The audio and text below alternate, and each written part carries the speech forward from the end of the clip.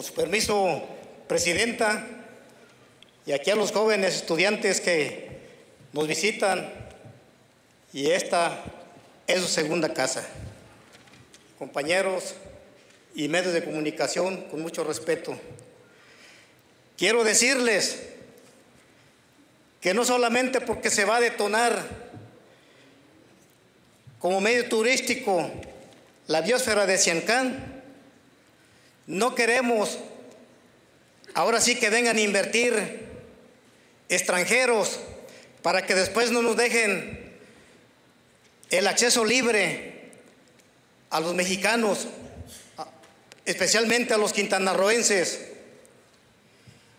Queremos que esto detone para Carrillo Puerto, que ellos tienen las necesidades, principalmente en pobreza, que ellos sean principalmente los beneficiados y que los mexicanos tengamos el acceso como dueños que somos los quintanarroenses. No queremos que inviertan los extranjeros, queremos un bienestar futuro para exclusivamente los quintanarroenses y más para el futuro de estos jóvenes. Muchas gracias.